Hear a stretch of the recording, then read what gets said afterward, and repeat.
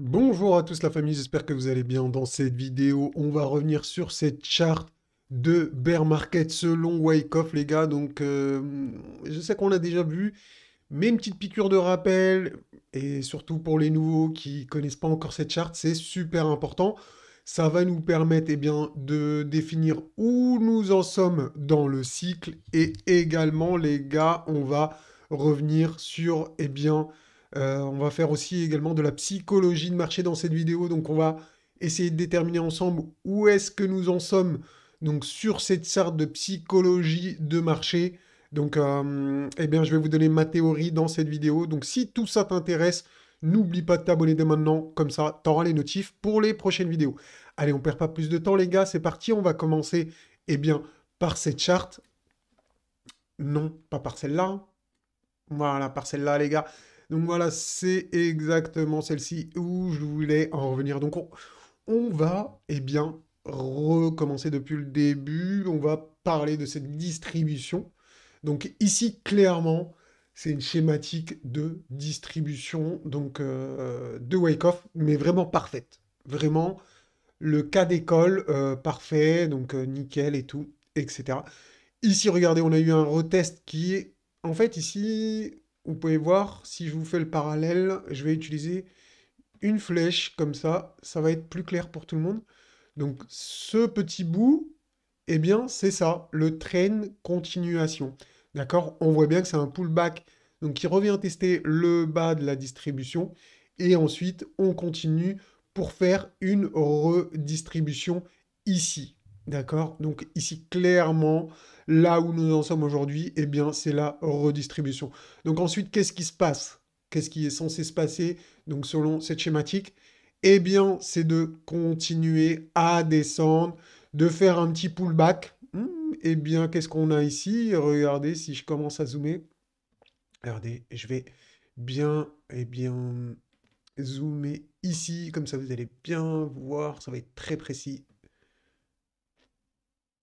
Eh bien, ici, les gars, regardez, on pourrait être vraiment ici. D'accord? Donc, euh, je vais utiliser... Donc, euh, les gars, on pourrait être vraiment ici aujourd'hui. Là, en direct, au moment où je vous parle. Donc, on pourrait être là. Donc, qu'est-ce qui nous manquerait? Eh bien, toute la phase de capitulation finale, entre guillemets. Donc, on revenir sur le bas du logarithmique régression pour enfin former une accumulation, une phase d'accumulation, les gars. Donc, c'est ça maintenant qui nous manque. C'est là où euh, je voulais attirer votre attention.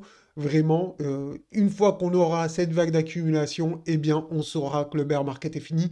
Et qu'un nouveau cycle commence. D'accord? Donc, rappelez-vous également comment on va confirmer eh bien, ce que je suis en train de vous dire, qu'il y a un bottom qui se pose. Eh bien, si vous vous souvenez, il y a une vidéo que j'ai mis en avant sur ma chaîne. Euh, donc, c'est la stratégie euh, de Mamos.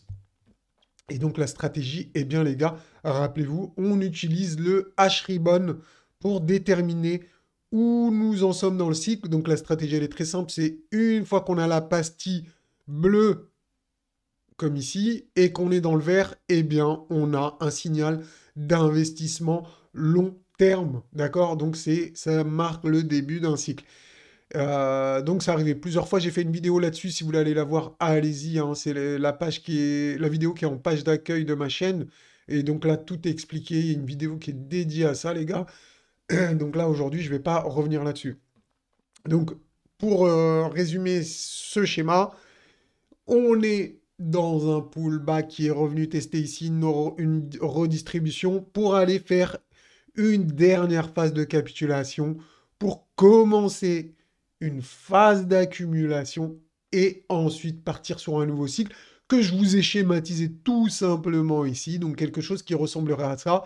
Donc une dernière phase de chute, revenir ici peut-être vers les 11-12 000 là, par ici, faire une phase d'accumulation et enfin repartir vers le haut, faire un nouveau cycle. Voilà. Donc je pense que maintenant c'est clair pour à peu près tout le monde ici. Donc je vais pouvoir eh bien, continuer euh, sur... euh, eh bien non, c'était pas celle-là, c'était la, la charte de psychologie de marché, les gars. Donc, rappelez-vous, bon, ça va peut-être être compliqué pour que tout le monde se rappelle. La dernière fois qu'on en avait parlé, on était dans le déni où les gens pensaient que mes investissements sont dans de bonnes compagnies, je vais vite revoir mon argent. Eh bien, les gars, ça continue de s'enfoncer, on casse les supports et on va toujours plus bas. Donc, euh, euh, non, votre argent, il n'est pas prêt de revenir. hein. Enfin, je dis ça, quand je dis vous, euh, je parle euh, de manière générale. hein. Donc ensuite, les gars, suite au déni, pour tous ceux qui pensaient que eh bien, c'était le bottom et que leurs investissements étaient dans de bonnes compagnies, eh bien, c'est la panique. La panique que je... J'ai l'impression qu'il commence à s'enclencher, là, hein, euh, surtout si on casse les 15 15 000, euh, 15 500, enfin le plus bas annuel, qui est aux alentours de 15 500. Euh, si ça casse, là, vraiment, on va rentrer dans la capitulation. Et là, on pourra poser un bottom, comme je vous l'ai schématisé tout à l'heure. Donc vraiment, il nous manque cette phase de panique et de capitulation. Je pense que la panique, commence à arriver, on, rentre dedans, on devrait être là, là, vraiment où j'ai où j'ai situé le, la souris. Alors attends, je vais vous faire un super zoom comme ça. Voilà. Donc là, éventuellement, on pourrait être ici sur le Bitcoin, donc proche du support annuel ici, du plus bas. On le casse, on rentre en panique, en capitulation, donc vraiment une baisse rapide, rapide. Bien sûr, il y aura des rebonds dans la baisse, hein, c'est obligatoire. hein. Il n'y a pas d'actif qui... euh, Même Luna, il n'a pas baissé en ligne droite, il a fait des rebonds dans, dans sa baisse. Donc, euh, parce que s'il y en a qui pensent vraiment que le, un actif peut passer de 0 à 100 sans, vague, sans rien, juste euh, automatique. Non, non, ça n'existe pas. Donc il y aura des, des- rebonds, bien évidemment, euh, plus ou moins forts, mais euh, voilà, enfin, le, ça va rebondir, bien évidemment. Donc ensuite, panique, tout le monde va dire, mince, tout le monde est en train de vendre, il faut que moi aussi je sorte. Donc voilà, ça c'est en gros ce qui, la, la, enfin, la psychologie des gens à ce moment-là. Et ensuite, il y a la capitulation et eh bien, je vais sortir à 100% des marchés. Je suis effrayé de perdre encore plus que ce que j'ai perdu aujourd'hui. Donc, c'est ça, c'est là, je pense, où on va arriver dans la capitulation. C'est que ça va tellement faire mal, les gens, ils vont tellement perdre d'argent que bah, ça va être dur de, de voir son portefeuille. En fait, il faut même pas regarder votre portefeuille si vous êtes investi. On ne regardez même pas les chiffres de votre portefeuille. Ça va juste vous donner eh bien, la gerbe euh, plus qu'autre chose. Surtout dans les prochains jours, les prochaines semaines. Et euh, est-ce que c'est est-ce que c'est le moment de vendre? Sincèrement, je pense pas. hein. Si vous êtes déjà en perte, euh, c'est essayer de vendre pour ra- racheter moins cher. Bah, c'est faisable, mais bon, c'est quand même un peu tard. hein.